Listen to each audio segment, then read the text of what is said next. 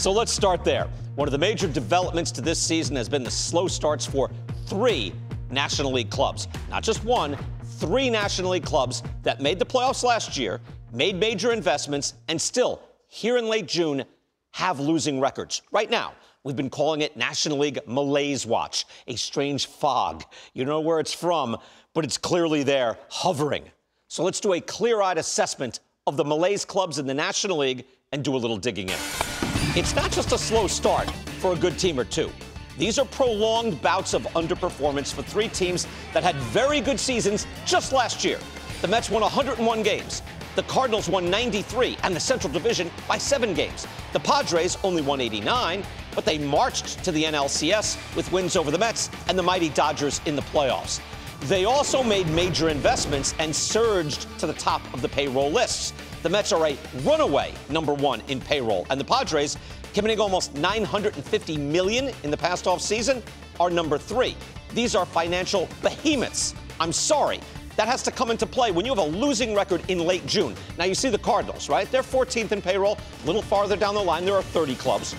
But they haven't had a losing record in 16 years, and Cardinals aren't just a bit sluggish. They were 16 games below 500 only about a week ago. So, Let's start by checking the big board and take a look at where everybody is and what they're facing. There are three wild cards now in each league. That's all you need to do to grab to get in. And then you're fine. The Padres are in the best shape. 37 and 41, they're four under.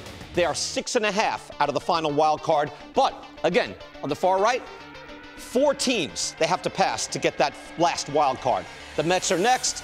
They're seven under 500 eight out of the wild card. They've got to pass five teams to get a playoff spot. Even that last wild card, the third wild card, they got to pass five clubs. Cardinals, the furthest out.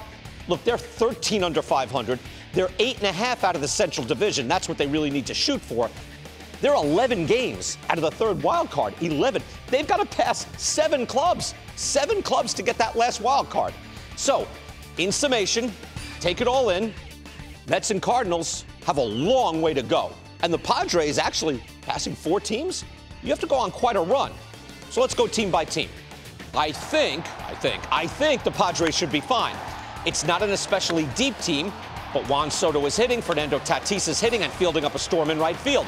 Manny Machado does not look healthy. He's struggling, but he's been a very consistent player through the years. Ha-Seong Kim is a monster, fielding, base running. He is number one in baseball in defensive runs saved. This guy plays several positions. This is a good unit on the field. Pitching wise, Blake Snell is on a dominant run. He's pitching like an ace. Michael Wacha, Joe Musgrove, Seth Lugo, they're more than solid. Their bullpen has 13 blown saves, tied for the 10th most in baseball, but their Park adjusted ERA for the bullpen, third in Major League Baseball. This team should be fine. I'd be stunned if they don't turn it around. Okay, to the Cardinals. Their position players are excellent. They are star studded and deep.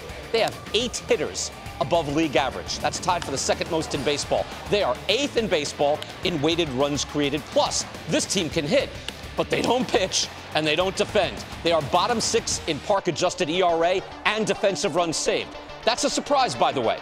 The Cardinals have been in the top four in defense in each of the past four seasons, including being number one in 2020. Now to the Mets. They have been flat out miserable on the mound. 27th in park adjusted team ERA, despite two future Hall of Famers in the rotation. But they're also only 12th in weighted runs created plus. That's a stunner. The Mets were third best hitting club in baseball last year. Number three hitting overall only a year ago. Now they're in the middle of the pack offensively. And here's more bad news. They are also 22nd in defensive runs saved as a club. They were better than average last year, but they have slid back in the field as well. So let's go to the big board and just soak all this in. This is a good exercise. Here are the teams, and here are their rankings in hitting, pitching, and defense. Hitting, pitching, and defense. Okay? These are the clubs in a snapshot. It's not in depth, but it gives you an idea of the relative strength of each club. Start at the Padres. In hitting, weighted runs created plus, they're 13th. In ERA plus, they're 8th. That's pitching. Defense, defensive runs saved, they're 5th. Now, that's mostly from Ha-Seong Kim and Fernando Tatis, but they are 5th. So overall, you're like, that's a pretty good club. They should be fine. Cardinals, 8th in hitting. They can hit, no doubt. They're also deep. But ERA plus 25th, whoa, there are 30 clubs. 28th defensively, that's a real problem.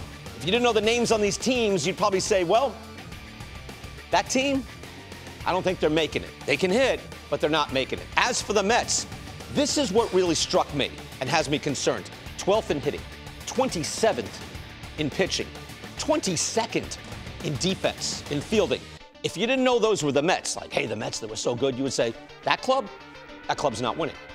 So it's a funny thing about doing this exercise. Without getting into the weeds, you do a cold hearted assessment right here. You would say, they're okay. They might be okay, they might not. They're not okay. The worst of the bunch. Back in the real world, in the weeds, you could expect, of course, major turnarounds in team production. It takes a lot to think that Scherzer and Verlander will both be mediocre for the whole year and that Jeff McNeil and Starling Marte continue to where they've been. But you think about what we just showed you eight back, five teams to pass. The malaise watch is getting dire for both the Mets and the Cardinals.